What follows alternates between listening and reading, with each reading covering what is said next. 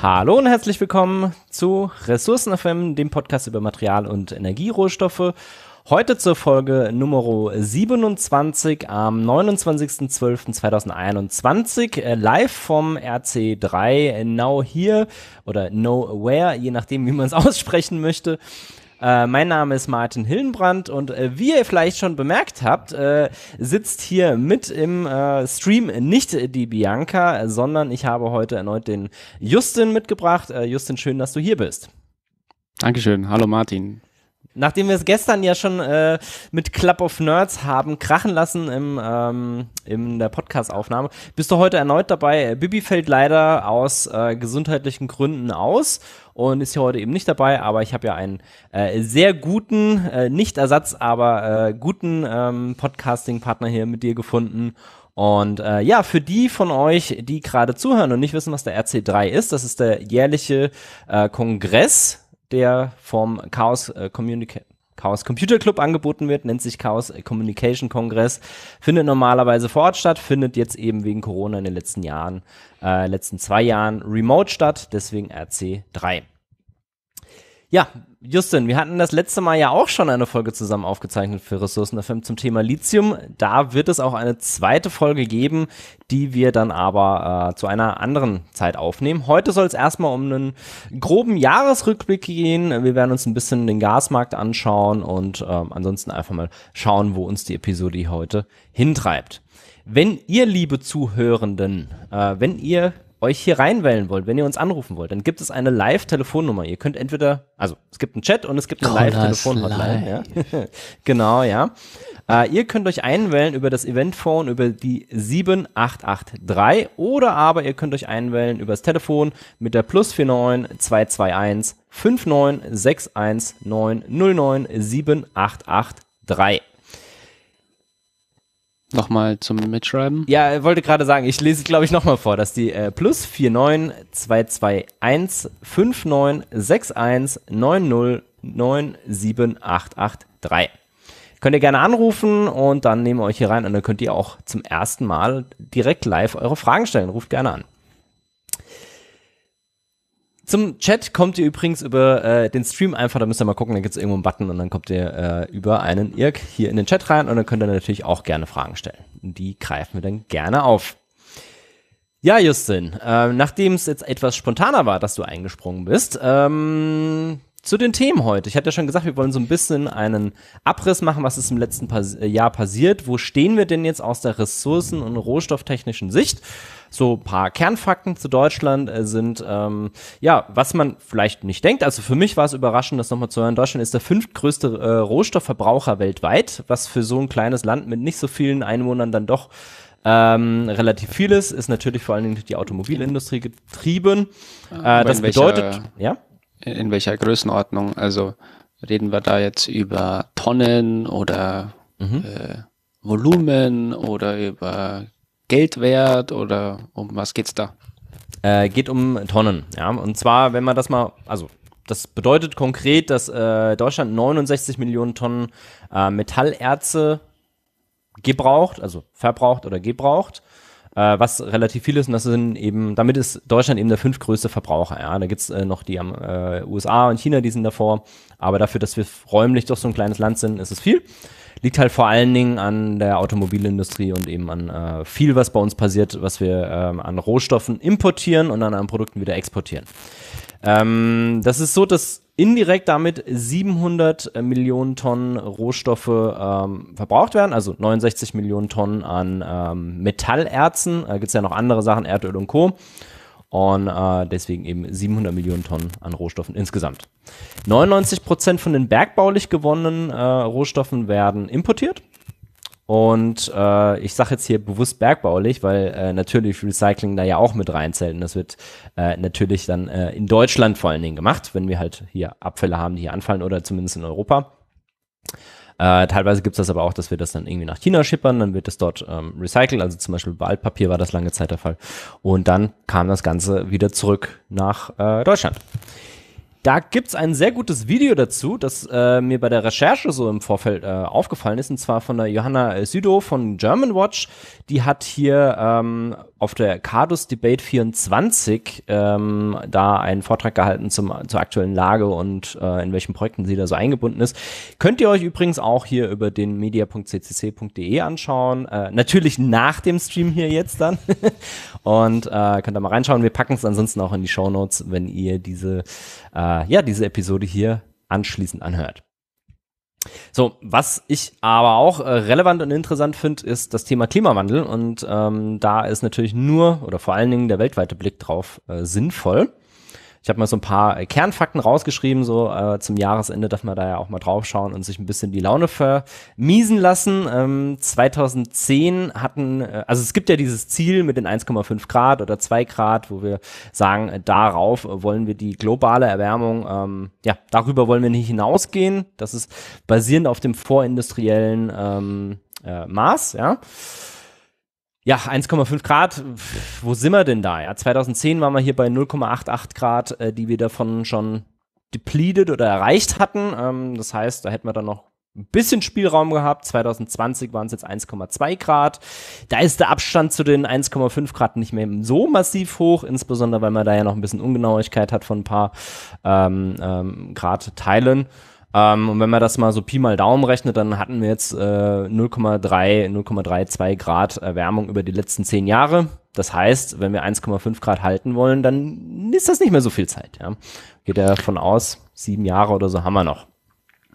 Was nicht viel ist. Wir haben jetzt auch eine neue Regierung. Ah, Justin, ja. Äh, ich, ich, also das sind jetzt alles sehr düstere Zahlen. Ich würde allerdings da gerne auch noch was sehr Positives äh, zu genau diesen Szenarien auch berichten. Was gerne noch häufig verwendet wird äh, bei so manchen Medien ist das Szenario RS 8.5, glaube ich. Ähm, das ist ein Szenario, was man in den allerersten äh, Projektionen gesehen hat, wo die, äh, die Emissionen noch stärker ansteigen und man irgendwie 6 Grad Erwärmung oder so ein Horror-Szenario 8,5 Grad Erwärmung oder so hat. Und dieses Szenario ist inzwischen eigentlich völlig, also nicht mal unter den schlimmsten Vorstellungen, die man sich vorstellen kann, noch machbar, weil dieses Szenario beinhaltet, also auch da Hinweis, wenn ihr diese Daten seht, schaut euch nach, schaut euch an, welches Szenario wurde verwendet von den verschiedenen Szenarien, die es da in der Regel gibt. Und dieses Schlimmste ist inzwischen eigentlich nicht mehr, nicht mehr relevant, weil dieses Szenario bedeuten würde, dass wir jetzt von heute auf morgen sämtliche existierenden erneuerbaren Energiequellen abschalten, abreißen und ausschließlich nur noch erhöht Kohl, Kohle, Gas und Öl verbrennen und quasi so das Schlimmste tun können, was wir, was wir tun können. Und wir, ob je nachdem, wie schnell das der Ausbau der erneuerbaren Energien vonstatten geht, ist eine andere Diskussion und eine andere Geschichte, aber dass sie zurückgebaut werden oder gar abgeschafft werden in den nächsten fünf bis zehn Jahren, das ist aus meiner Sicht ausgeschlossen. Das, und dieses Szenario basiert eigentlich auf diesen Annahmen. Also was man glaube ich, nicht vergessen sollte, ist, dass in den letzten zehn Jahren genau dieses Szenario und auch die Wahrscheinlichkeit, dass es eintritt, massiv reduziert worden ist und dass auch der Wahrscheinlichkeitskorridor eher Richtung zwischen 1,5 und 2 Grad Celsius gekommen ist, vielleicht etwas drüber, aber nicht mehr in dem höher 5 oder so in diesen wirklichen okay. Horrorszenarien. Das heißt, wir sind zwar noch nicht da, wo wir hin müssen, aber der Trend und auch der ökonomisch äh, untermauerte Trend, äh, insbesondere im Energiesektor, sieht man das sehr stark, wo heute schon erneuerbare Energien in den meisten Ländern sogar die günstigste Energiequelle sind, wenn man um, über neue äh, Erzeugungsanlagen spricht, ähm, dass da der Trend annimmst, bisher ne? in die richtige, in die Richtung geht. Und wenn du halt einen Marktpreis annimmst, also äh, muss ja sehen, in Deutschland, wenn wir hier Energie ausbauen, dann hat das äh, begrenzt was mit dem Markt zu tun. Wenn ich Kohle und Atom subventioniere, dann lohnt sich das Ganze halt, ja. Ähm, wenn ich es nicht subventioniere, dann lohnt sich halt auf einmal nicht mehr. Ja, oder wenn ich denen halt irgendwie Erleichterung mache, dass äh, die halt überall äh, Tagebau betreiben können, ohne dass sie dafür irgendwie äh, ja, also sie müssen da schon also Geld dafür zahlen, aber halt nicht vergleichbar. Ne? Also, ich ja. ich habe da eine nette, eine nette Anekdote dazu. Wir haben, also da auch der Disclaimer, ich bin da, ähm, ich bin involviert in einem Energiespeicher-Startup, ähm, dementsprechend hier ein potenzieller Conflict of Interest, wenn ich äh, nicht besonders äh, positiv gestimmt bin gegenüber Energiequellen äh, der, der fossilen Natur. Äh, wir haben uns verschrieben, dass wir ein 100% Erneuerbare ermöglichen und dafür brauchen wir eben Stromspeicher. Von daher mein Hintergrund da. Wir waren kürzlich bei unserem Pilotkunden und der hat uns erzählt, dass ähm, der hat das erste kommerziell betriebene Windrad Deutschlands aufgestellt und der hat uns erzählt, dass er jetzt bei einem der Windräder, die er hat, ähm, eine Bankbürgschaft hinterlegen musste mit echtem Bankcash, also wirklich nicht nur einfach ein, ein, ein Investitions- oder ein, ein Gegenwert, ein Anlagengut irgendwo nachweisen, sondern er musste echtes Geld bei der Bank auf ein Treuhandskonto legen, um sicherzustellen, dass dieses Windrad auch abgebaut wird in der Zukunft. Und das Geld ist jetzt quasi einfach, das ist nicht in seinem Zugriff, das ist jetzt in diesem Konto und das ist quasi die Sicherheit, die er hinterlegen musste. Und es gibt eigentlich, soweit ich weiß, keine andere Industrie, die eine Sicherheit in Form eines echten Cashes und liquide ist, der hat genügend Anlagegüter, also in Form von echtem Cash bei der Bank hinterlegen muss, damit ein Windrad zurückgebaut wird. Also ich finde, das ist dann schon sehr, sehr, hat so schon sehr ein Geschmäckle, wenn ich mir dann anschaue, wie stattdessen mit anderen Energiequellen, Kohlekraftwerken und Atomkraftwerken da teilweise diese Sicherheiten nur begrenzt, äh, vor allem nicht in Cash sichergestellt werden mussten. Sollen sie mal bei Atom auch machen, fände ich lustig, wenn sie da mal Cash vorhalten müssen, um das zurückzubauen und entzulagern. Naja, gibt's ja sogar, gibt's ja sogar. Es gibt ja äh, eine Gesellschaft, die gegründet wurde, das ist sozusagen die Bad Bank, da hat man ein bisschen Kohle gegeben und dann sollen die das damit machen und wenn die halt pleite ist, dann ist sie halt pleite, ja. Dann müssen sie halt, naja. Dann zahlt halt, äh, zahlen halt wir als genau, Bürger, wie das immer dann, so läuft. Ja, dann ist das halt so, ja. Ähm, ja, also unabhängig davon, äh, kann, äh, muss ja nichts disclaimern, ich arbeite ja äh, im Finanzbereich und habe damit deswegen nicht so viel zu tun, aber ähm, trotzdem sehe ich das halt irgendwie äh, relativ kritisch und ich glaube, viele, die hier auch zuhören, sehen das kritisch. Ich meine, es gibt ja mittlerweile diese ganzen For-Future-Bewegungen und die Extinction Rebellion-Bewegungen, die da ja auch ähm, ihre Gründe haben. So, ich habe jetzt aber mal gehört, dass ab drei Grad ähm, aufwärts ähm, ja einfach das Risiko steigt, dass wir als Menschheit, als Spezies aussterben. Ich meine, das ist bei drei Grad noch immer noch weiterhin relativ, ja, nicht krass hoch, aber da fängt das dann halt an anzusteigen, ja. Ähm, vielleicht ein bisschen ähm, klarer habe ich auch mal nochmal rausgeschrieben, so was passiert denn ab wie viel Grad? Weil das war mir jetzt zum Beispiel nicht eingängig, ja. Ab 1,5 Grad haben wir zum Beispiel eine äh, Verdopplung der Hitzetage im Jahr. Das heißt dann ähm, für Deutschland gesehen, wir haben im Durchschnitt sieben mehr Hitzetage. Bei zwei Grad ist es sogar schon eine Vervierfachung, also plus 20 Tage. Ähm, Starkregenfälle um 17 Prozent bei 1,5 Grad äh, erhöht. Dann äh, Menschen, die weltweit an Wasserknappheit zusätzlich leiden, wären es 771 Millionen, was schon nicht wenig ist. Ähm, ja, Malariagebiete würden um 10% zunehmen, Waldbrandfläche im Mittelmeerraum würde um 41% zunehmen. Und Insektenarten, äh, deren Lebensraum sich mindestens halbiert, wären 6%, also zusätzlich. Und ähm, ja, der Verlust der tropischen Korallenriffe würde um 70 bis 90 Prozent zunehmen, bei 1,5 Grad. Bei 2 Grad äh, sind wir bei den Korallenriffen schon bei einer Vernichtung von 99 Prozent, bei den Insekten bei 18 Prozent ähm, und so weiter und so fort. Also das wird alles nicht so lustig, wenn wir die 2 Grad nicht mal halten, wonach es ja gerade ausschaut. Also du hast zwar gesagt, ja, wir haben das nach oben hin gedeckelt, aber wenn wir so weitermachen wie bisher, dann landen wir ja irgendwo bei den 3 Grad, wenn wir da jetzt nicht noch mal ein bisschen aufs Gas treten. Aber werden wir ja sehen. Fun Fact, wir haben eine neue Bundesregierung, äh, die hat ja auch ihre Pläne veröffentlicht, was sie alles so vorhaben. Und da muss man halt einfach ganz klar sagen, naja, nachdem wir die letzten Jahre als Deutschland einfach massiv äh, das Ganze verschlafen haben, ähm, haben die jetzt mittlerweile zwar ähm, das Ganze ja strenger gemacht und die wurden dafür auch gefeiert, äh, dass sie eben hier strengere ja, Vorhaben haben und sich da einen Koalitionsvertrag äh, geschrieben haben, der schon auch sehr ambitioniert ist. Äh, trotzdem halten sie aber weder ihr eigenes Gesetzesziel noch das 1,5 Grad Ziel ein. Ja, das muss man halt dazu auch sehen. Da sind wir einfach mittlerweile zu spät dran. Äh, zumindest zu spät dran, als dass äh, eine Regierung oder politische Parteien das aktuell als sozial verträglich ansehen. Also was ich echt spannend finde, ist halt die ganze Diskussion auch dazu äh, negativer Emissionen, weil da ist für mich immer so die Frage, wie finanzieren wir die? Also wenn ich CO2 wirklich Direct äh, Air Capture oder CO2 Capture wirklich spreche, da gibt es inzwischen auch Technologien, die funktionieren. Also ich rede jetzt nicht davon, dass ich immer bei einem Kohlekraftwerk hinten am Aus beim, beim äh, Kamin direkt das CO2 erhöhte Luft dort rausfilter, sondern wirklich auf der grünen Wiese in Anführungsstrichen. Ähm, die Kosten da pro Tonne CO2 sind aber irgendwas zwischen 500 und 1000 Euro häufig noch pro Tonne Das ist noch nicht in keinster Weise irgendwie wettbewerbsfähig. Aber wenn wir jetzt die Weichen richtig stellen und diese Technologien subventionieren, dann kann, können wir halt auch in eine Position kommen, wo wir mit enorm günstiger Energie, die wir haben über Erneuerbare, ähm, noch nicht, Rohstoff, aber haben könnten irgendwann, ja. Ne, die haben wir schon. Naja, aber guck mal, wir kriegen es ja jetzt noch nicht mal hin, unsere Wirtschaft zu elektrifizieren. Da haben wir jetzt das ja schon massive Probleme. Naja, na, na ja, also in, ist jetzt die Frage, von, von, wem sprechen wir, wenn wir von wir sprechen? Sprechen wir von Deutschland oder sprechen wir von der ja. Welt?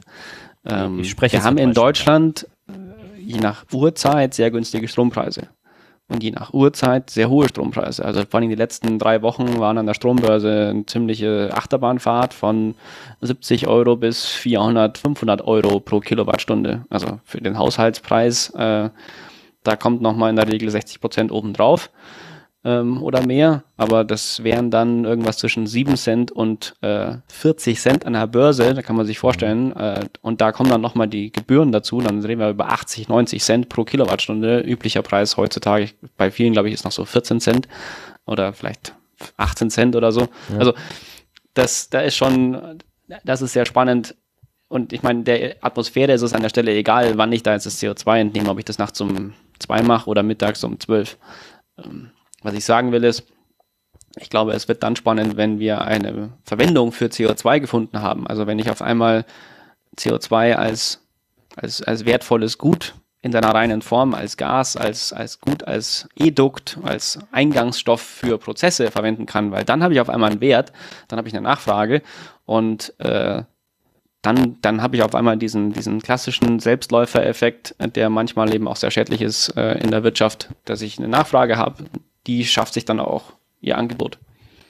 Äh, kleiner Fun-Fact an der Stelle, das äh, war ja schon der Fall. Und zwar wurde das CO2 knapp äh, für die Getränkeindustrie.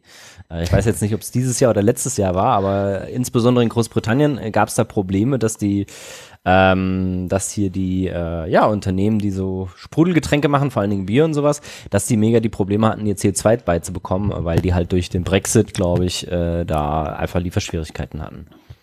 Fun Fact dabei auch, weil CO2 da anscheinend in dem Ko beim Keulen von, ich glaube, Hühnern oder so verwendet wird, mhm. hat das auch zu massiven Einschränkungen in der Fähigkeit, äh, ents entsprechende Schlachthöfe zu betreiben in Großbritannien geführt, was dazu geführt hat, dass die dann äh, Tiere nach Europa exportiert haben, weil sie nur hier ordnungsgemäß geschlachtet werden konnten, weil ihnen CO2 gefehlt hat.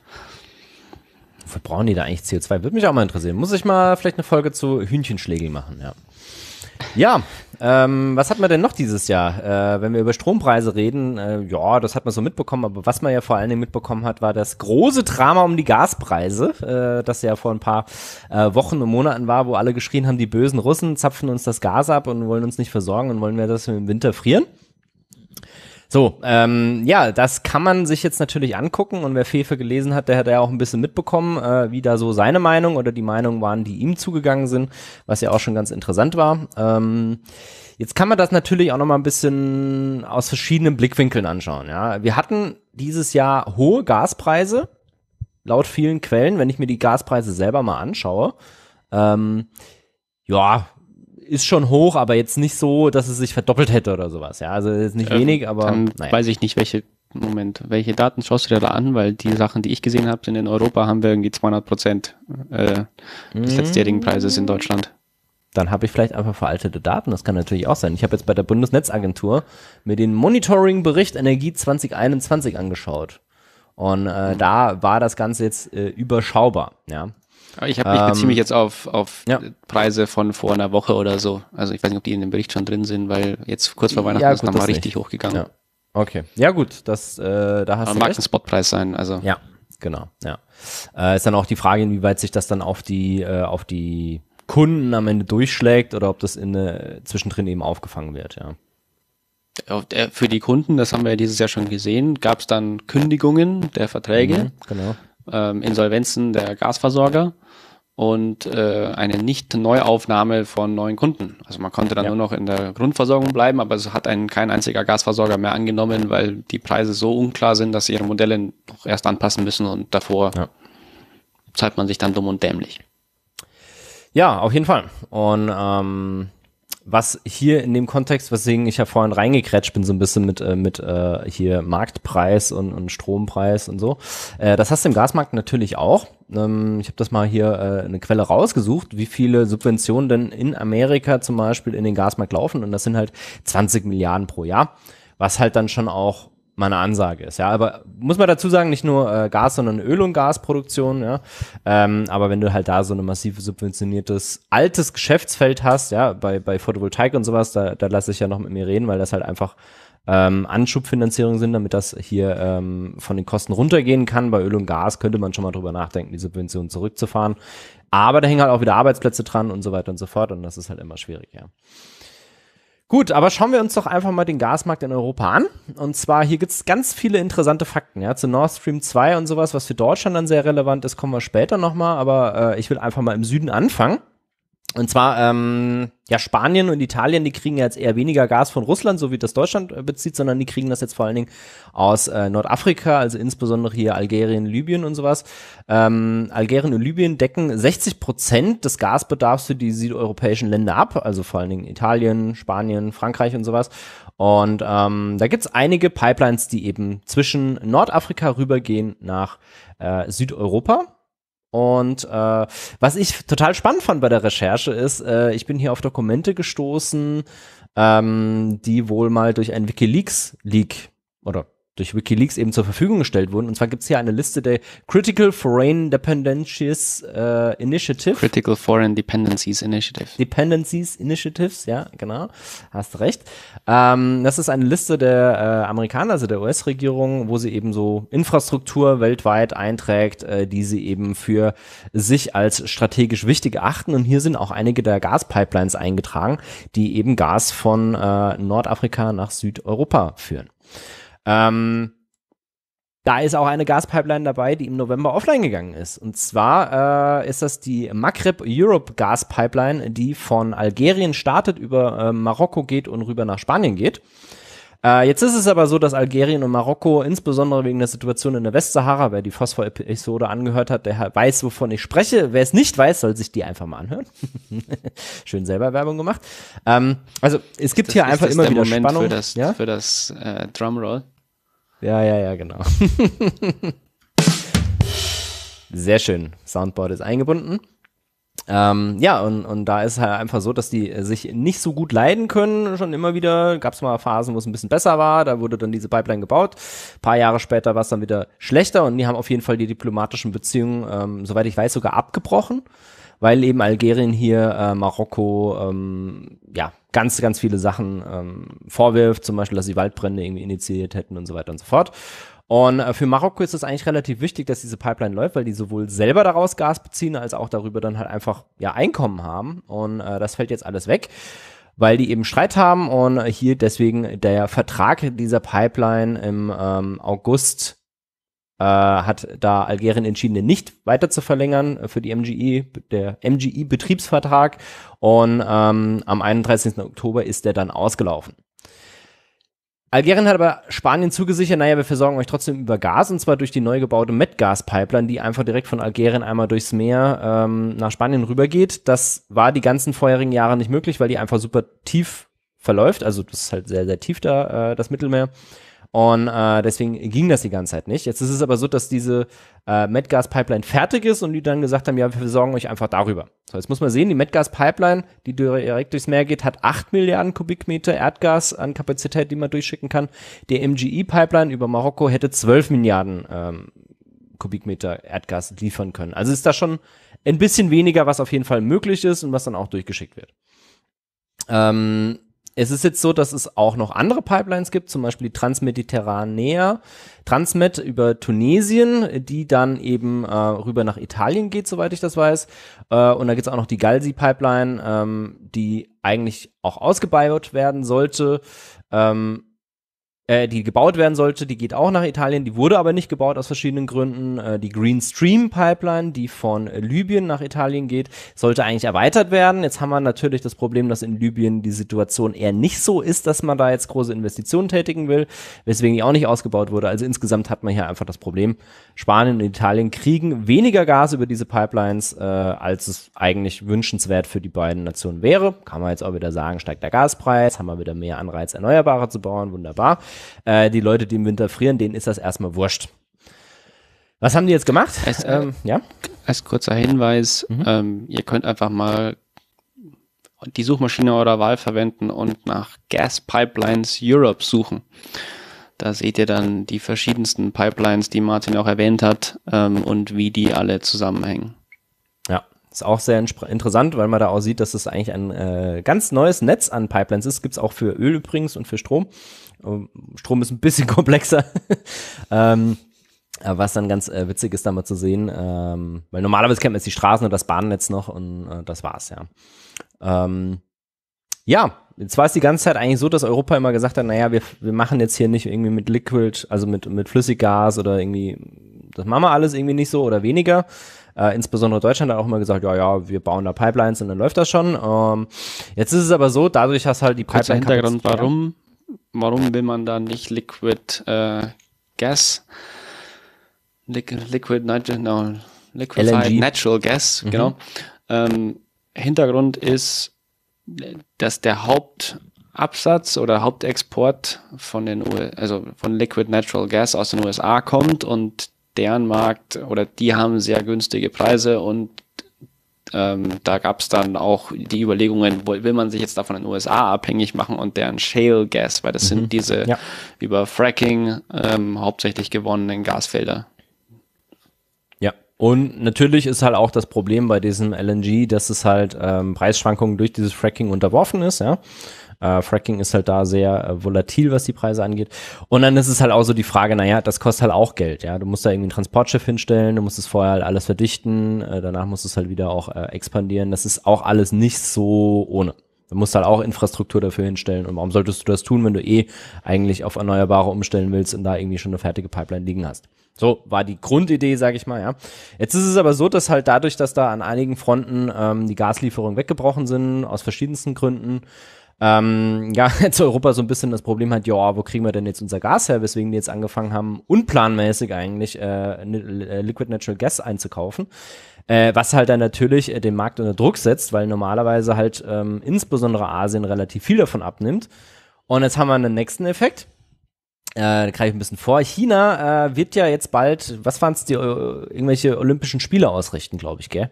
Olympischen Winterspiele. Ja, Genau. Und ähm, da gab es so die Idee, hey, wenn wir die machen, dann wollen wir ja schön saubere Himmel haben. Deswegen haben die ein paar Kohlekraftwerke abgeschaltet und dachten sie so, machen wir das mal und fahren wir mal Gas hoch. Ja. Ähm, außerdem wollen sie halt auch Emissionen drosseln und so weiter und so fort, äh, halt da CO2-Emissionen drosseln und äh, einfach dafür sorgen, dass halt da ähm, das alles ein bisschen besser aussieht. Jetzt ist das Problem an der Stelle halt, wenn man das macht, bringt man halt sein Stromnetz ein bisschen unter Druck. Und ähm, ja, wenn die jetzt halt damit rechnen, dass sie halt da ganz viel Gas einkaufen, dann kaufen sie halt eventuell auch den Markt äh, nicht leer, aber zumindest bringen sie ihn weiterhin unter Druck und irgendwie haben alle damit gerechnet, dass sie sich da versorgen können und im Endeffekt war dann weniger Angebot da als Nachfrage.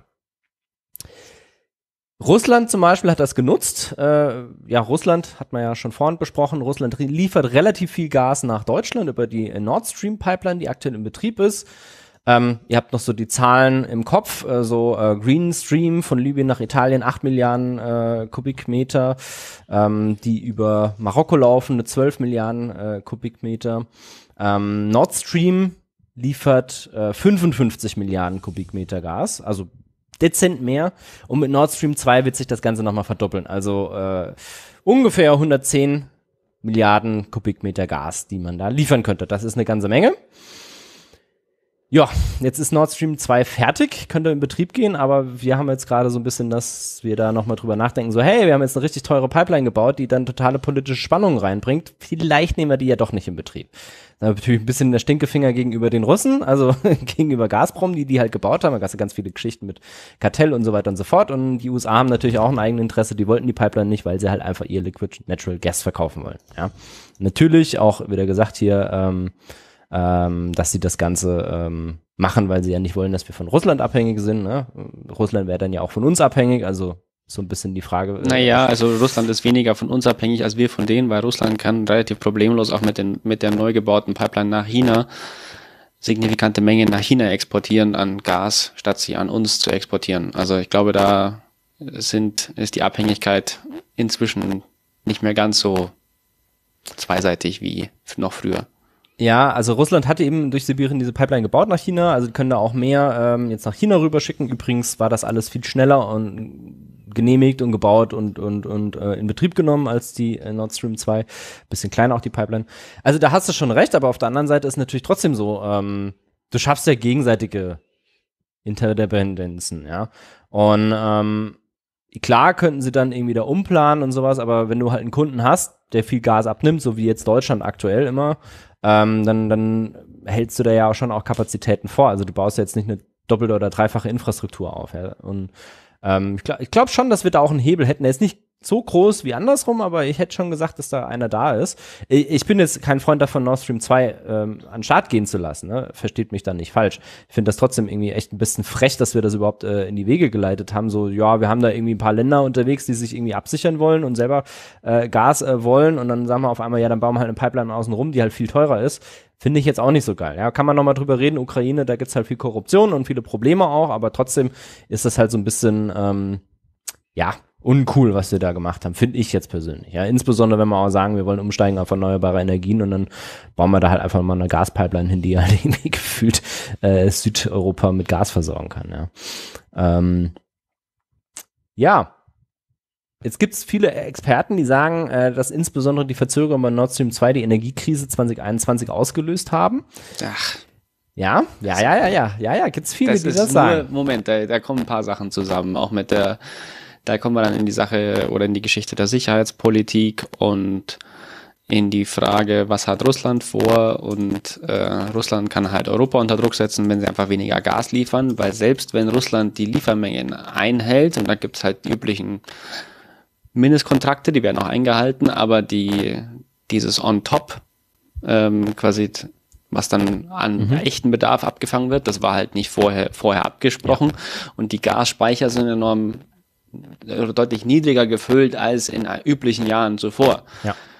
Das führt jetzt nicht zu einem Problem unmittelbar, aber es, da der Gasmarkt und der Gasmarktpreis an der Stelle ähm, diese Gasspeicher Füllstände als Signal verwendet, um einen Gaspreis zu ermitteln.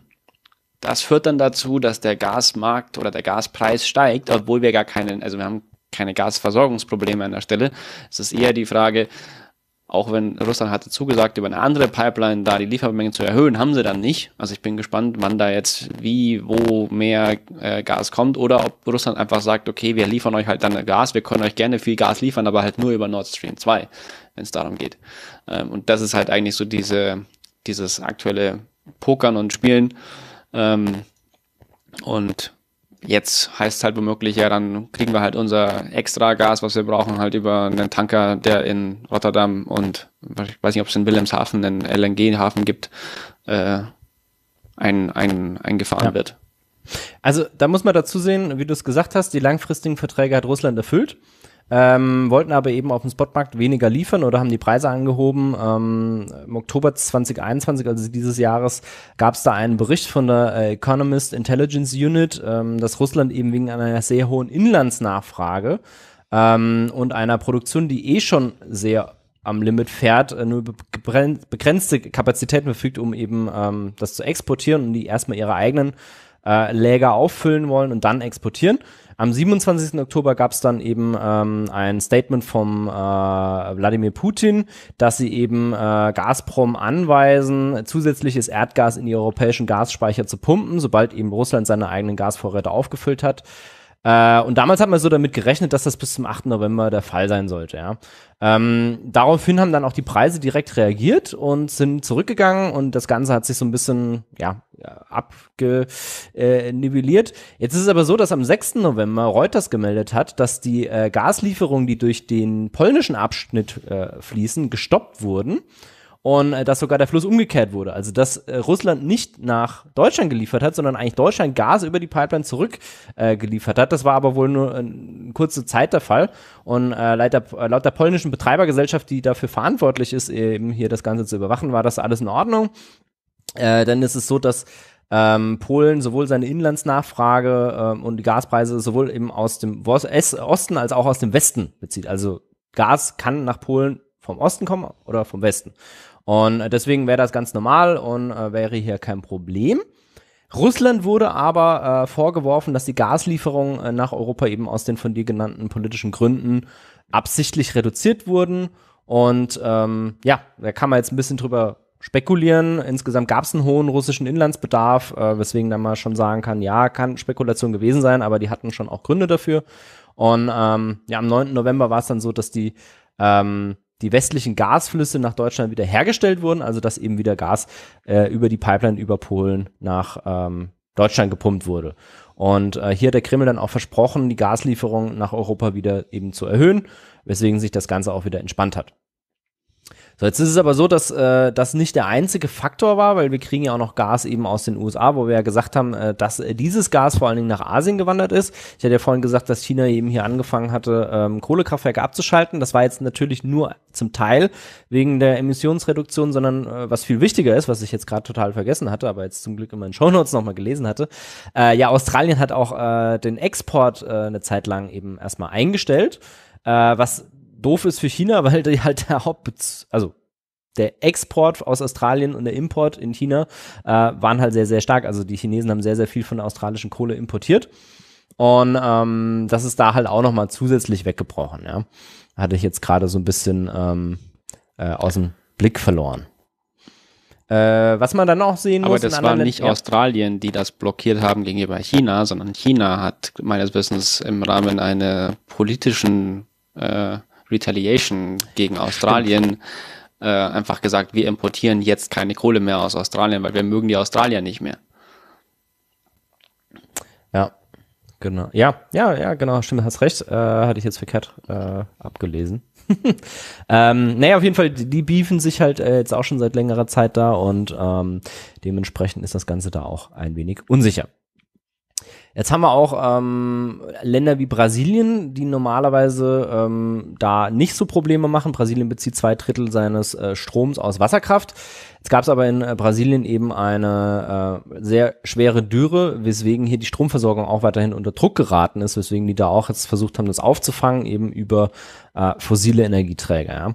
Ähm, die haben dadurch dann eben auch nochmal mehr aufgekauft und ähm, ja, insgesamt haben wir jetzt auch eine Verschärfung des CO2-Preises. Das hatten wir gestern ja kurz angesprochen und da hatten wir ja nochmal äh, nachgeschaut. Ich hatte jetzt hier eine Info bekommen von Eurectiv, dass, ähm, äh, ja, da hatte ich es abgelesen, dass etwa ein Fünftel des Energiepreisanstiegs auf die steigenden CO2-Preise auf dem EU-Kohlenstoffmarkt zurückgeführt werden kann. Das war ein Statement von äh, dem Europäischen Parlament, konkret von dem EU-Kommissar für Klimapolitik Franz Timmermans. Dementsprechend nicht vom Europäischen Parlament, sondern von der EU-Kommission. Äh, ja, hast du recht. Vor dem Europäischen Parlament in Straßburg, genau. Ja. Nicht vom, sondern vor. Ich sollte lesen lernen, ja. ähm, ja, jetzt ein Fünftel kann man sagen, ist überschaubar, ja. Da gibt's noch andere Quellen, hat man gestern auch schon mal, ähm, sind wir drauf eingegangen, eben hier diese Unsicherheiten in der Versorgungslage, der Markt insgesamt und so weiter und so fort. Das Ganze hat jetzt aber nicht nur aus, ja? Bevor wir da jetzt reinspringen, für die, die jetzt vielleicht erst später dazugekommen sind, wir haben auch ein Hörertelefon, ein Hörerinnen-Telefon und ein ähm, Wesentelefon. Ihr könnt also gerne einfach reinklingeln und Fragen stellen oder auch einen Kommentar abgeben. Die Telefonnummer darüber oder dafür ist Eventphone 7883 7883 oder über das gute alte Telefonnetz über plus 49 221 5961 909 7883. Ich wiederhole plus 49 221 59 619 09 7883. Korrekt. Wir, Wir haben ja auch ähm, über eure Anrufe. Genau. Wir hatten hier auch gerade einen Kommentar bekommen und zwar äh, gab es den Kommentar zum Gas, wird ja auch kälter im Winter und ähm, ist besser einen Nordstrom für Gas zu haben als nicht zu haben, sehe da überhaupt kein Problem. Ja, kann man so sehen. Ist natürlich halt wieder eine Fahrtabhängigkeit, die man aufbaut. Äh, wenn du eine Pipeline hinstellst und die in Betrieb nimmst. Also wir haben sie gebaut, das muss man halt sehen. Der Fakt ist da, das Teil ist da, das verschwindet jetzt nicht wieder. Es ist nur ein bisschen die Frage, ob wir halt äh, auch politisch das überhaupt wollen. Ähm, du hast halt da, also vielleicht um das einzuführen, ja, für Deutschland, nur auf Deutschland geblickt, äh, ja, klar, in Betrieb nehmen haben, besser als nicht haben. So, jetzt sind wir aber nicht alleine auf der Welt und auch was wir tun, hat halt natürlich Auswirkungen auf andere Länder. Warum wurde Nord Stream 2 gebaut? Super teure Pipeline, macht eigentlich total überhaupt keinen Sinn, die so zu bauen, wie sie gebaut wurde. Es gäbe viel günstigere Lösungen, indem man die eben über Land baut. So, man hat die jetzt eben nicht über Land gebaut, weil man gesagt hat, ja, da sind ja noch andere Länder, die dann auch noch was mitzureden haben und die wollen wir ausboten. Insbesondere eben Polen und die Ukraine. So, jetzt, wenn man mal drüber nachdenkt, in der Krim gab es so eine Intervention, ja, oder man könnte es eine Annexion nennen, je nachdem, ähm, welchem politischen Lager man angehört. Ähm, die haben natürlich einen Stellhebel, indem sie halt sagen, ja, liebe Russland, äh, hier sind auf einmal irgendwelche komischen Leute mit Maschinengewehren unterwegs. Äh, die sehen aus, als könnten die von euch kommen und Russland sagt, äh, keine Ahnung, von wem die sind. Dann hat man einen ganz anderen Stellhebel, wenn man sagt, ja, okay, wir drehen Europa mal das Gas ab. Äh, mal gucken, wie schnell dann hier diplomatische Beziehungen äh, genutzt werden, um eben die Sache zu klären, als wenn man diesen Stellhebel nicht hat. Und ähm, in dem Moment, wo wir den halt der Ukraine und Polen wegnehmen, machen wir diese halt verwundbar gegenüber äh, Aggressionen äh, übrigens auch äh, aus dem Westen, ja. Also ähm, die sind natürlich dann auch verwundbar darüber, dass äh, dann ja Länder aus dem Westen Druck ausüben und aus dem Osten, also Russland und auch Europa oder eben äh, die NATO äh, gleichwohl. Deswegen haben die da wenig Interesse dran. Ähm, kann man jetzt sagen, ja, Deutschland hat ein Interesse dran, sich mit Gas zu versorgen. Russland hat ein Interesse dran, das eben ohne Probleme an uns zu liefern. Ja, ist halt ein bisschen unfair. Ich verstehe das, bei der Ukraine ist immer das Problem mit dieser Gasgesellschaft gewesen, dass die halt relativ viele Probleme mit Korruption hatten und da halt auch immer wieder ähm, eher uncoole Aktionen gebracht haben mit, ja, wir heben jetzt auf einmal einfach die, die äh, Steuern an und Verträge sind uns egal. Ähm, ja, trotzdem ja, ist ein bisschen unglücklich, was da halt passiert ist. Finde ich jetzt persönlich. Und deswegen finde ich das auch sinnvoll, dass man das halt nochmal sich anschaut und überlegt. Und insbesondere halt unter dem Aspekt, wir wollen erneuerbare Energie ausbauen, dann macht das irgendwie nicht so viel Sinn, dass wir halt die Importkapazitäten für Erdgas äh, erleichtern. Ja, das Geld, das man da reinsteckt, hätte man halt auch einfach ähm, in den Aufbau von Erneuerbaren nutzen können oder aber in die Stärkung der Stromnetze und so weiter und so fort. Also wir setzen da glaub, eben auf eine alte Technologie, muss man einfach so sagen. Ich glaube, das ist der der größte Aspekt, dass man da einfach eine, also Gas fördert, obwohl man eigentlich Erneuerbare und Speicher fördern sollte. Und sicherheitspolitisch, also kommt es irgendwann auch auf uns zu, wenn halt Gesamtosteuropa dann äh, unsicher oder auch sicherheitspolitisch äh, in Probleme gelangt, wenn da die Abhängigkeiten mit Russland sinken und dann Russland da weniger Bauchschmerzen hätte ja. ähm, was wir jetzt auch mit den Truppenansammlungen da in der östlich der Ukraine gesehen haben und so. Und ich meine, wenn wir da jetzt nicht ähm, Probleme in unserer Nachbarschaft haben wollen, die ultimativ auch bei uns dann irgendwann landen, gegebenenfalls sollten wir uns auch bei solchen energiewichtigen Themen Gedanken machen, warum wir uns von wem wie versorgen. Denn äh, wie hat ein, eine Twitterin so schön gesagt, man kann halt schlecht irgendwie intervenieren, wenn man von dem Staat, gegen den man intervenieren will, mit seiner Energieversorgung eigentlich komplett abhängig ist. Das macht man nicht. Ja. Und Inter, also wenn, also bei Gas muss man auch sehen, wenn da halt der Hahn zu ist, dann sind da vielleicht noch zwei, drei Tage an Gas drin, dann ist das leer und dann sind irgendwann auch die Speicher leer. Also äh, nach ein paar Tagen oder Wochen ist dann halt irgendwann einfach mal Schicht im Schacht und das bringt halt einen ganz anderen Druck mit, äh, als wie wenn jetzt irgendwie China auf einmal sagt, ja, wir verkaufen euch keine PV-Module mehr, dann sagen wir halt so, ja, herzlichen Glückwunsch, wir haben welche auf dem Dach juckt uns erstmal die ersten nächsten drei Jahre nicht. Äh, so ganz krass so ist es jetzt auch nicht, aber äh, im Endeffekt ist das halt ein ganz anderer Hebel, den man da hat äh, und einen ganz anderen Druck, den man ausüben kann. Es kam jetzt nochmal eine Frage beziehungsweise ein Kommentar und zwar äh, von äh, Jockel, der hat geschrieben, Frage, das Spannende ist doch die Gleichzeitigkeit, mit der diese Jahre, dieses Jahr viel passiert ist. EU Green Deal, Shell und UK steigen aus Gasförderung aus. Viele nutzen vermehrt Gas zum Ausgleich von PV-Wind, CO2-Preis steigt, Konjunkturpakete überall, etc. Wie gute Marktmodelle gibt es eigentlich, die so viele Variablen berücksichtigen? So, da kann man dazu sagen, ich glaube, die Corona-Pandemie hat jetzt keiner so vorhergesehen. Ja, die hat ja auch äh, da Auswirkungen gehabt, die man einfach äh, sehen muss. Also der gesamte Handel hat sich verändert. Ich wollte dazu ja eigentlich auch einen Vortrag äh, im Anschluss hier Jockel, halten. Haben wir nicht Jockel gemacht. hat noch einen, ja. einen Zusatz. Äh, es kommt noch hinzu, extensive Wartungen in Frankreich. Ja, deswegen ist ja. einer der Punkte, warum der Strompreis so hoch ist, weil ja. halt Frankreich gerade sich gedacht hat, es wäre jetzt ein guter Zeitpunkt, um 10 bis 12 Kernkraftwerke vom Netz zu nehmen. Ähm, Atomausstieg, bei uns gehen drei Atomkraftwerke, glaube ich, vom Netz, Grundremmingen und noch ein paar andere oder mindestens eins. Wir haben dann noch drei, glaube ich, und das war's. Äh, Kohleausstieg, da mache ich mir jetzt eher weniger Sorgen, den hätten wir auch, also die Frage ist wirklich, wie schnell können wir die Erneuerbaren bei uns ausbauen, denn also vorletztes Jahr hatten wir schon, ich glaube, 48 Prozent der deutschen Stromversorgung über Erneuerbare gedeckt. Wir exportieren regelmäßig auch nach Frankreich Strom, wenn die gerade keinen Strom haben, weil ihre Atomkraftwerke ausfallen, mit vor allem hart, also äh, Erneuerbaren.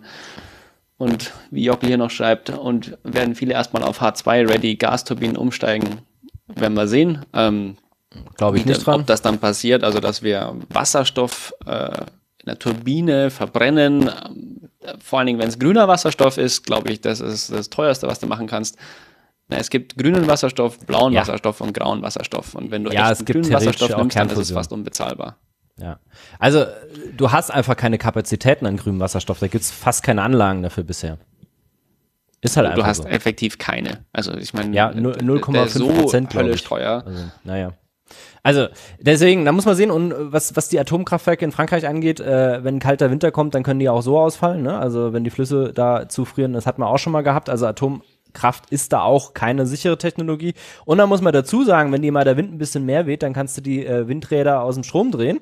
Ähm, oder, ne, also da, da kann man ganz anders agieren, weil das halt ein dezentrales Netz ist. Und dezentral ist da halt einfach in den meisten Fällen. Also klar, du musst das Netz darauf vorbereiten. Das haben wir die letzten Jahre in Deutschland verpennt.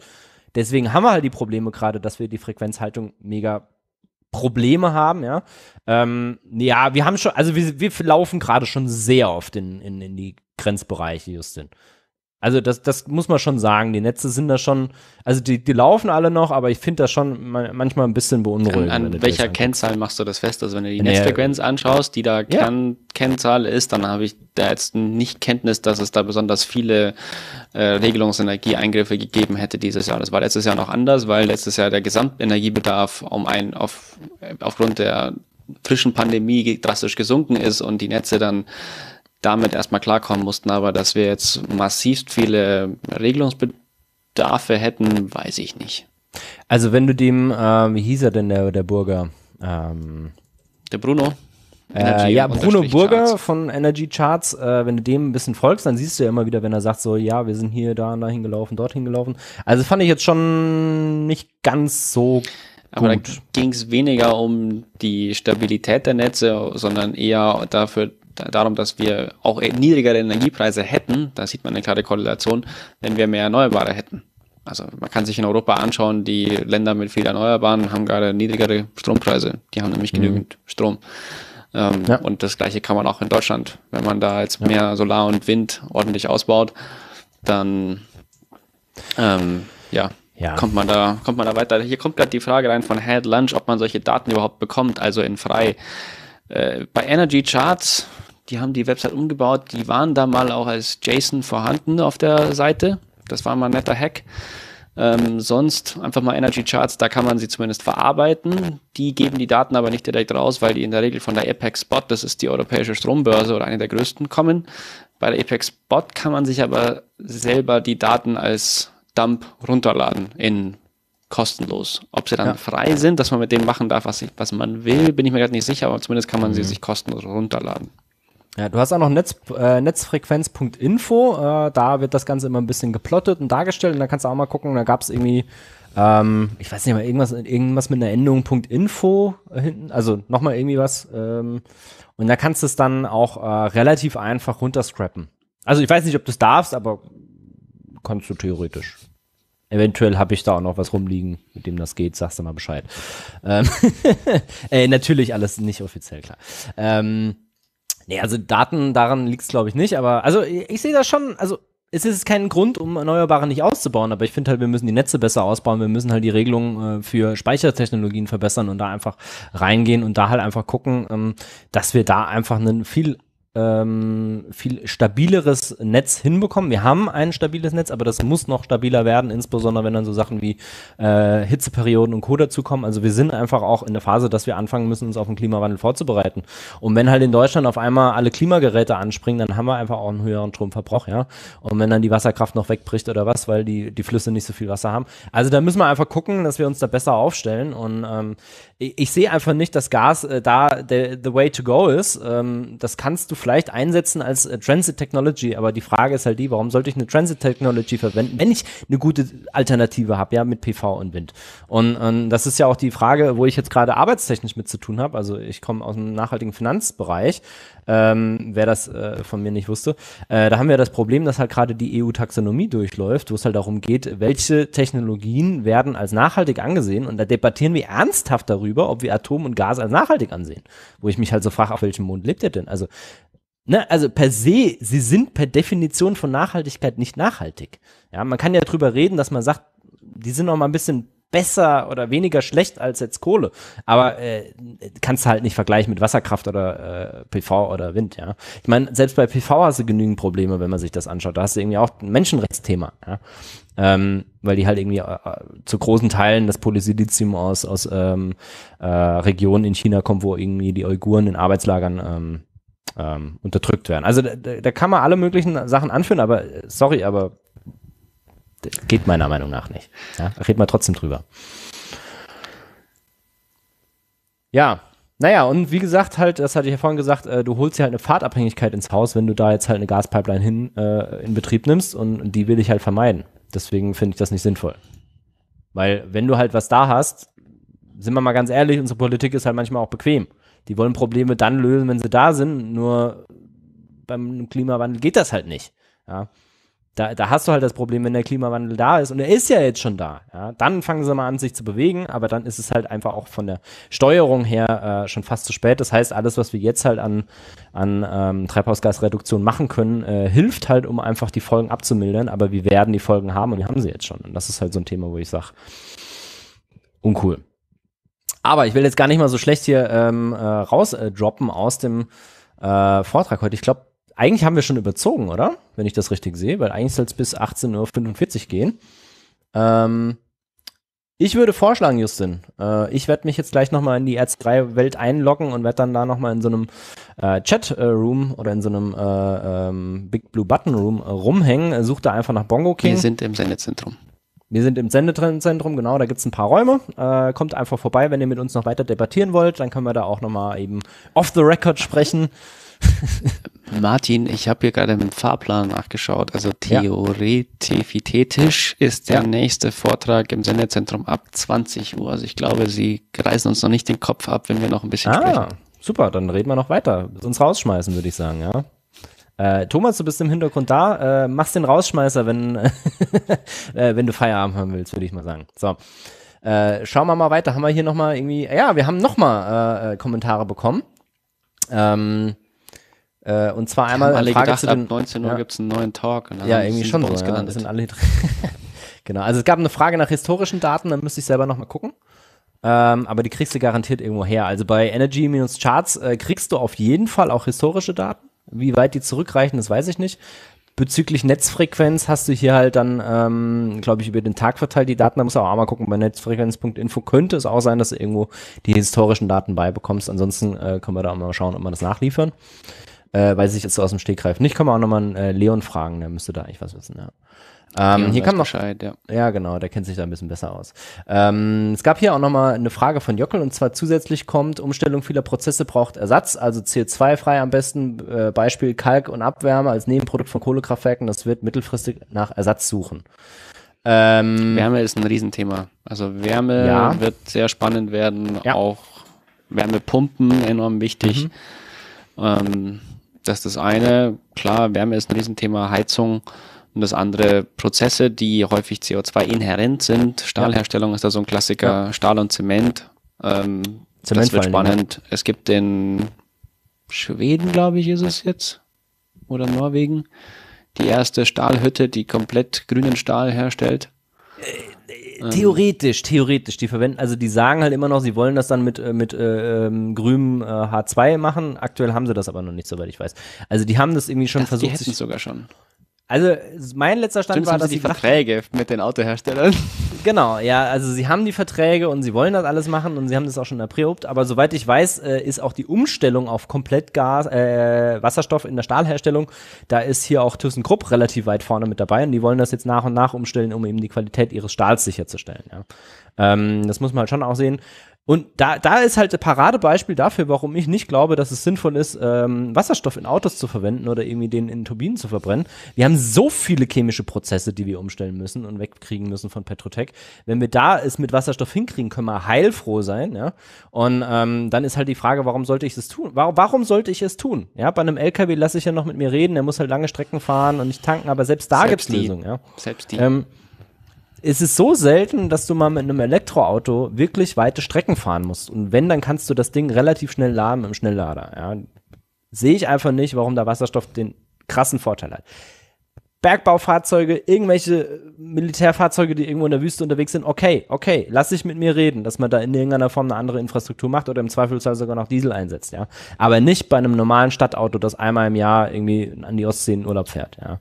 Sehe ich nicht. Also bei Autos also ich meine, wenn wir von Wasserstoff reden, es gibt diese drei Arten Wasserstoff, grauen Wasserstoff, der wird einfach in der Regel über ähm, Methylcracking, glaube ich, ist es dann, oder zumindest wird der gecrackt aus Erdgas. Das ist ja im Endeffekt eine CH, also Kohlenstoff-Wasserstoff-Verbindung, mhm. Erdgas ähm, und die verschiedenen Bestandteile. Und da kann man den Wasserstoff abspalten in einem mhm. ganz passablen Prozess. Und das ist dann der graue Wasserstoff, wenn man in diesem Prozess, wo dann CO2 frei wird, das CO2 abfängt und dann, keine Ahnung, was damit macht, das in den Schrank stellt, dann hat man blauen Wasserstoff. Und der grüne Wasserstoff ist der, den man über Elektrolyse herstellt. Das heißt, Wasserstoff, der CO2-neutral ist, weil man mit erneuerbarer Energieversorgung die Elektrolyse betrieben hat, der dann diesen Wasserstoff erzeugt. Und das ist eigentlich das Spannende, wenn ich mhm. wirklich dekarbonisieren will.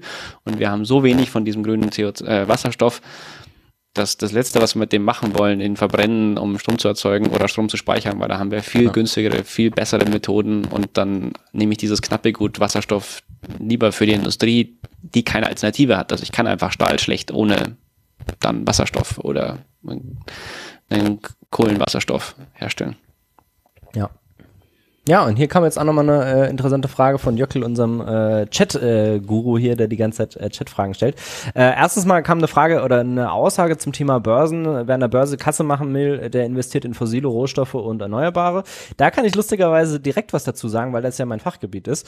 Ähm, es gibt etwas, das nennt sich ähm, ähm, äh, Stranded Assets und das nennt sich äh, Carbon Bubble, beziehungsweise eben, ähm, ja, äh, es gibt dann ein Forschungsprojekt an der Uni Augsburg, Karima nennt sich das, äh, war ich auch äh, indirekt mit involviert. Ähm, da ging es darum, das Risiko äh, zu berechnen, wenn ich eben zum Beispiel fossile äh, Energieunternehmen in meinem Portfolio habe, weil die natürlich ein Stranded Assets Risiko haben. Stranded Assets, ganz kurze Einführung ist, ich habe irgendwie ein Ölfeld äh, mit so und so viel Milliarden Litern an potenziell förderbarem Öl oder ich habe einen großen Tagebau unterm Hambacher Forst und habe da jetzt irgendwie halt den Hambacher Forst und äh, wenn ich jetzt nicht in Deutschland bin und dann äh, halt irgendwie eine Politik habe, die da irgendwie sich an Regeln und Gesetze hält, äh, dann darf ich den nicht abgraben, weil das halt irgendwie ein super alter Wald ist und der geschützt werden muss, ja. Und dann, äh, wenn ich davon ausgehe, ich darf den abbaggern und dann sagt die Politik, nee, darfst du nicht, habe ich ja Geld verloren, ja, weil ich habe da vorher damit gerechnet, ich habe da vielleicht Geld dafür ausgegeben, ich habe das irgendwie eingeplant, äh, ich habe eben stranded Assets, ja, also ein Schiff, also ich, das, ja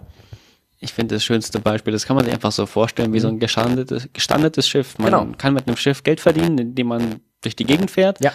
Aber wenn man dann irgendwie strandet, ja. dann sitzt man am Ufer und dann ist das Ding wertlos, weil dann musst du es erst seetüchtig machen oder kannst es gar nicht seetüchtig ja. machen, dann bricht es dir auseinander oder so. Es ist wirklich einfach wie so ein gestrandetes, ja. Genau. Und hast natürlich auch nochmal hast dann auch nochmal äh, das Risiko dabei, dass dann halt verklagt wirst und so weiter und so fort. Und diese Risiken trägst du als Akt, äh, Aktionär. Ne? Also ich bin ja ein Fan davon, dass Menschen in äh, Aktien äh, investieren, ne? keine, keine Empfehlung in keiner Weise. Aber ich bin Fan davon, weil du dann halt einfach, ähm, wir sagen immer, die Konzerne, die sind böse und, und die beuten uns aus. Naja, wenn ich äh, Aktionär bin, dann bin ich der Konzern. Ja? Also kann man dann immer noch sagen, dass uncool ist, dass ich andere ausbeute, aber immerhin habe ich irgendwie auch einen Hebel und sowas. Aber ist nochmal eine ganz andere Geschichte. Ähm, äh, dafür müsste man dann auch ähm, unterstellen, dass du halt Erbe und sowas nicht hast. Aber da kommen wir jetzt sehr, sehr weit weg, da will ich gar nicht drauf eingehen. Ähm, du hast ein Risiko, wenn du in nicht erneuerbare Unternehmen investierst, in fossile Rohstoffe, dass du eben auf einmal haftbar gemacht wird, dass auf einmal das Unternehmen irgendwie pleite geht, dass es eben ganz viel Abschreibung machen muss und äh, sich der Wert davon verändert und damit dann auch der Wert deiner Aktien. Auf der anderen Seite hast du das bei äh, den Erneuerbaren halt auch, weil du da halt einen Boom hast und da wird ja auch immer wieder gesagt, es ist eine Blase oder sowas und dann trittst du dir halt andere Risiken ein. Aber das würde ich jetzt gar nicht mal so unterschreiben, dass da jetzt so eine krasse Blase im erneuerbaren Sektor unterwegs ist. Was hier aber auch kam als Aussage, ist jetzt hier, äh, alle wollen jetzt Klimatechnologien einbauen. Ja, stimmt, deswegen steigen die Lithiumpreise voll und ganz richtig. Wir haben halt diesen äh, Holy Cow-Zyklus. Wir hatten das letzte Mal in der Lithium-Episode drüber gesprochen, ähm, dass sie halt einfach jetzt gerade viel in Bewegung ist die letzten Jahrzehnte wurde drüber geredet oder die letzten Jahre wurde drüber geredet und so langsam kommen wir hier halt auch ins Machen. Ähm, muss man aber auch sehen, wie nachhaltig ist diese Entwicklung, dass diese Preise so massiv ansteigen oder ist es ein kurzer Boom und dann stabilisiert sich das alles wieder, weil ja auch die Kapazitäten ausgebaut werden, ja. Naja, also bei Lithium, da empfehle ich immer gerne die Datenquelle Benchmark Minerals. Ja, die sprechen seit definitiv. zwei Jahren, höre ich denen zu und darüber, dass genau übrigens zusammenpassend mit ihren Prophezeiungen man jetzt ja. so anfängt zu sehen, dass es ein Mismatch gibt zwischen Angebot und Nachfrage und dieses Mismatch wird immer größer. Also das heißt, dass die Lithium-Minen und äh, Sohlen, die abgebaut werden, die Brines, ähm, dass die Kapazität, mit der die fördern können, nicht so schnell wächst, wie die Nachwa Nachfrage wächst. Jetzt auch, wo immer mehr Elektroautos gebaut werden mhm. wollen, konkret. Und da sieht man diese, das, das geht weit auseinander. Und wir sehen noch nicht, dass quasi diese Nachfrage schnell gedeckt werden könnte und es dauert ja auch einfach, es ist ja kein, kein Fingerschnips, sondern kann nicht Lithium fördern, sondern es dauert eigentlich in der Regel sieben Jahre, bis so eine Lithiummine mal in Betrieb ist. Das heißt, das, was wir jetzt dann online gehen, sehen wir, das wissen wir seit sechs Jahren, was das ungefähr ist. Und das ist halt einfach zu wenig.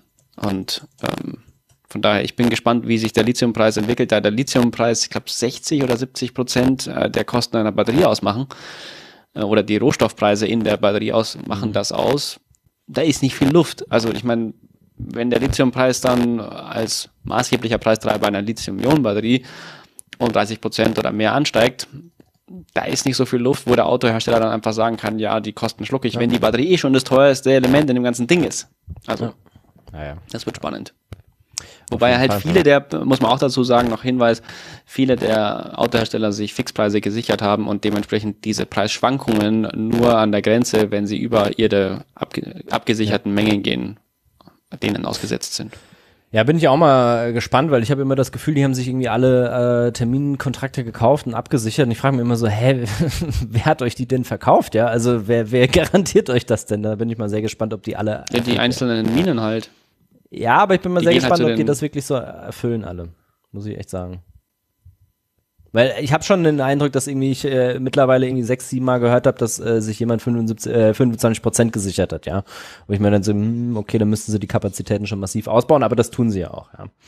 Ähm, äh, zum Stranded Asset Thema kam hier nochmal eine, eine äh, Bemerkung und zwar Stranded Assets sind aber langfristig 10 bis 50 Jahre bis 2025 oder 27 wird Gas aber noch ordentlich nachgefragt. Äh, da hast du recht. Äh, nur jetzt muss man halt sehen, ähm, wenn Nord Stream 2 nicht an den Start geht, dann sind das effektiv Stranded Assets. Ja? Dann ist es genau das, über das wir gerade geredet haben und das entscheidet sich in den nächsten Monaten. Und äh, wenn du jetzt auch mal überlegst, naja, 25, 27, ja, wäre gut, wenn wir da Gas auch schon reduzieren. Ähm, aber im Endeffekt, ja, ähm, ist da halt die Frage, es hat ja trotzdem Auswirkungen, ja. Wenn du dir heute Infrastruktur hinstellst, ähm, dann kalkulierst du ja nicht über fünf Jahre, ja. Also Zumindest nicht, wenn du dir ein Gaskraftwerk hinstellst oder eine Pipeline. Und dementsprechend sind das schon auch Überlegungen, die jetzt heute halt reinkommen und die jetzt berücksichtigt werden zunehmend ähm, und bewertet werden, äh, berücksichtigt werden sollten. Und äh, gefühlt äh, tun sich da Länder wie jetzt Indien oder so ein bisschen leichter. Die haben halt sehr, sehr viele Kohlekraftwerksprojekte äh, eingestellt. Ähm, hat so eine Zahl von 400 im Kopf, ja, weil es einfach sich nicht mehr lohnt, weil es zu teuer ist und weil die halt auch gesagt haben, so Leute, ähm, nee, warum sollten wir das tun? Und da muss man aber dazu sehen, dass Indien halt mit die nicht ambitioniertesten Klimapläne hat. Ich glaube 2000 irgendwann, was haben sie gesagt? Äh, also die sind mit die letzten, die gesagt haben, dass sie auf, auf äh, Netto Null kommen wollen. Ja. Ähm, trotzdem tun sicher? sie halt viel. Ja, ja, bin mir relativ sicher, weil sie halt gesagt haben, naja, wir sind ja gerade so am Wachsen und wenn wir das jetzt machen, dann würden wir halt unser Wachstum unterbrechen. Also musst du mal gucken, bei Glasgow gab es da eben, ähm, haben die sich zum ersten Mal überhaupt committed zu sagen, ja, bis 2000 90? Ich weiß es nicht, keine Ahnung, 75, irgendwas, also relativ spät wollen sie das erst einhalten. Ähm, was ja auch schon ein Kampf war, dass sie das überhaupt gesagt haben, ja, wo man auch sagen muss, die machen aber, also, und trotzdem bauen sie keine Kohlekraftwerke und wir tun es, ja, das muss man schon mal auch sehen. Ähm, ja, auf jeden Fall äh, würde ich jetzt auch das Thema äh, Polysilizium angesprochen, Kurz. dass hier die Preise hochgegangen sind, äh, ja? Kurzer Hinweis noch, wenn ihr eine gute Quelle zu diesen Klimazielen ähm, etc. haben wollt, global, dann könnt ihr unter carbonbrief.org, ich ja. pack's mal in den Chat, euch umschauen. Ähm, die machen sehr gutes Reporting, auch über die verschiedensten Ecken der Welt. Ja. Ähm, schreiben Deep Dive Reports etc. Ja, das äh, ist äh, definitiv äh, auch eine gute Quelle für eigentlich auch oft. So, ähm, hier kam jetzt auch noch ähm, Hinweis darauf, dass äh, Polysilizium das erste Mal in der äh, letzten Dekade gestiegen ist vom Preis her. Ja, völlig richtig. Hätte ich lustigerweise auch in meinem ähm, in meinem Vortrag äh, eingebaut. Ähm, da muss man sich ein bisschen angucken, wie funktioniert denn der Chips- und Halbleitermarkt, beziehungsweise der Polysiliziummarkt ist davon ja noch mal ein bisschen losgelöst, weil das ja da äh, nicht Polysilizium ist, das du verwendest für die Waiver. Ähm, trotzdem hast du da die gleichen grundsätzlichen äh, Quellen. Also du hast halt äh, Sand, Quarzsand, äh, der da verwendet wird, vor allen Dingen für die Siliziumherstellung. Und viel davon wird eben in China hergestellt. Jetzt hattest du als Hauptproduzent von Silizium dort das Problem, du hattest auf der einen Seite in manchen Gebieten Dürren, weswegen du weniger Wasserkraft hast, und auf der anderen Seite hattest du in manchen Bereichen wieder Überschwemmungen. Ähm, dummerweise war genau das so, dass die Dürren dort waren, wo du die Wasserkraft äh, herstellst, und die Überschwemmungen waren dort, wo du die Silizium-Schmelzanlagen hast, weswegen die dann offline waren, weil die halt voll mit Wasser gelaufen sind. So. Dann hattest du dort auch einen relativ strikten Corona-Lockdown, weswegen die nicht produzieren durften, und dann, wenn du so eine Schmelzhalle in Betrieb nehmen willst, hast du Vor- und Nachbereitungszeit und so weiter und so fort.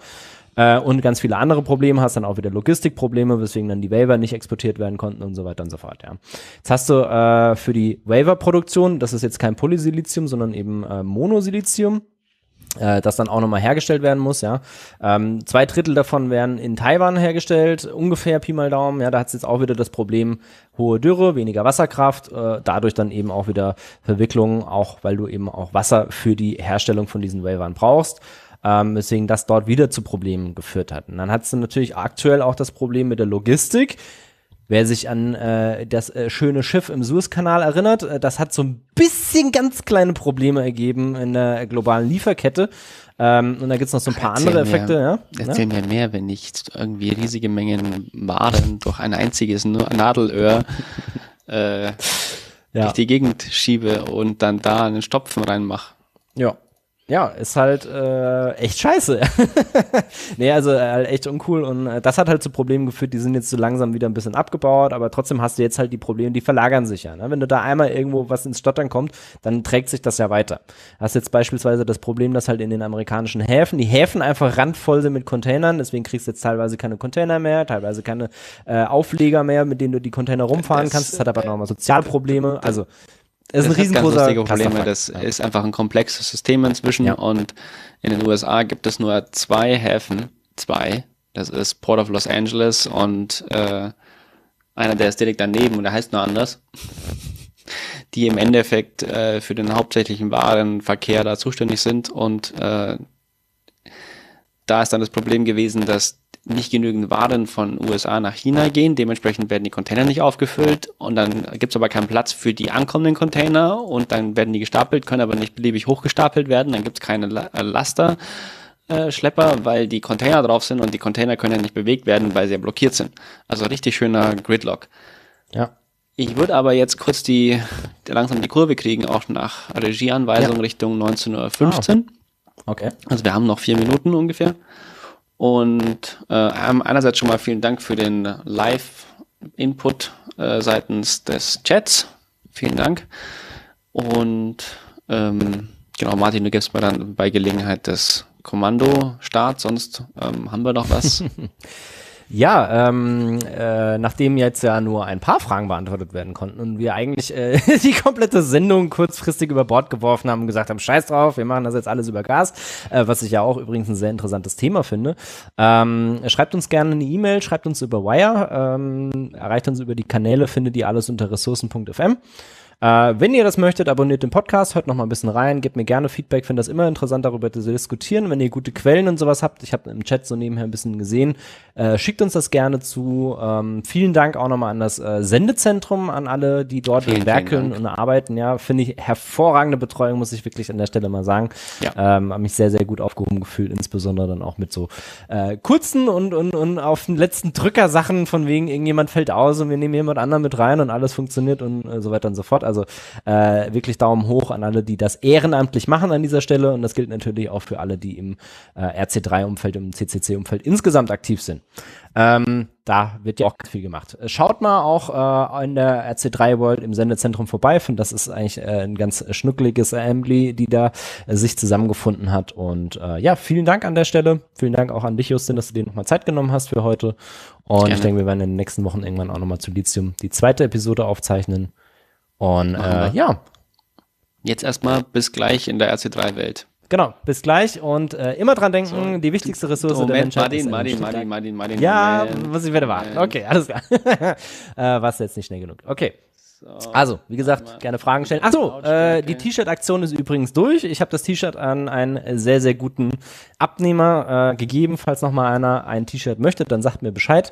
Äh, weil es nur ein bisschen länger, dass die Lieferung gedauert hat. Aber die sehen gar nicht, gar nicht mal schlecht aus. Willst du auch eins, Justin? Kann ich mal fragen. Immer. Ja, okay, dann bring ich dir mal eins mit. Alles klar. Gut, bist du jetzt bereit? Ja, sehr gut. Wichtigste Ressource der Menschheit ist und nun steht der Geist. Macht's gut, bis zum nächsten Mal.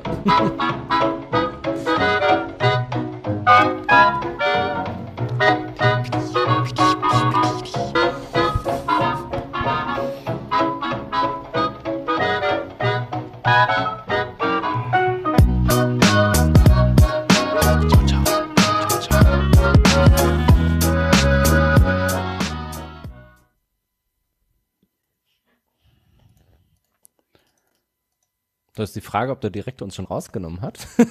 Sind wir immer noch live? okay, sehr gut.